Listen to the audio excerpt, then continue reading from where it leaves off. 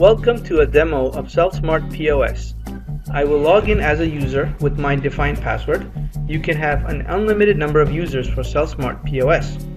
This is the home screen. 90% of your time will be spent on the home screen.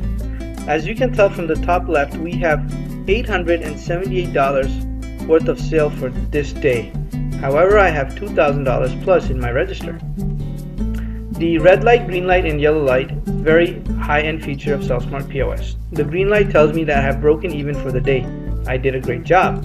I have paid all the expenses that I have loaded into the system and I'm now in profit mode. When you load CellSmart for the first time, it loads all inventory and gives it a value.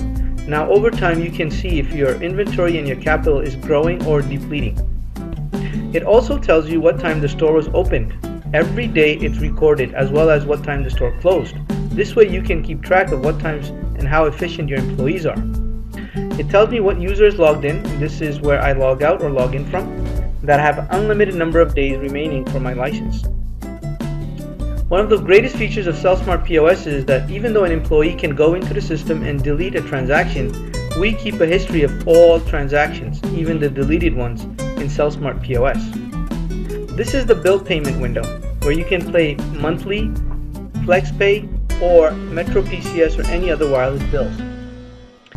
We have an area for web quick links where you can customize 10 URLs that you like to jump to in a browser of your choice. For example, I want to jump to Boost Mobile activation page. It will open the Chrome browser and directly jump to that page so I don't have to go and open a browser or type the URL and etc. And all this can be customized to your liking. Outside of the quick links, we have hotkeys, where you have 12 programmable buttons for those items that you sell quite often. For example, I sell $10 T-Mobile cards quite often throughout the day. All I have to do is click on the button once. It asks me if I'd like to add the transaction to the register. I hit yes and the sale is performed. As simple as that.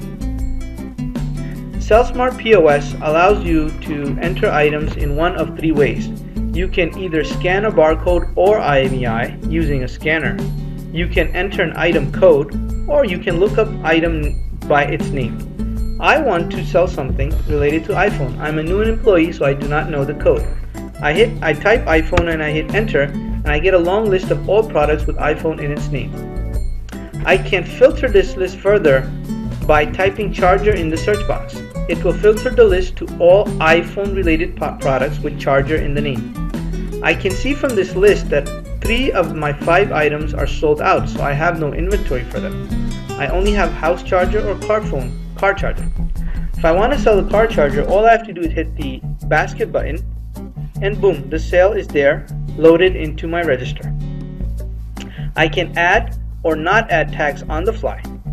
If the customer offers me $20, I will note that down and hit enter and save the transaction and CellSmart POS tells me that I have to give them $5 in change. By default, we have set it so you do not have to print receipts. Customers do not take receipts and we want to save you paper and we want to help the environment. However, we have a button that will go to the last receipt in case the customer wants it. Let's go and print our last receipt. And I will show you an image of how the receipt looks. Here is a customizable receipt with the barcode.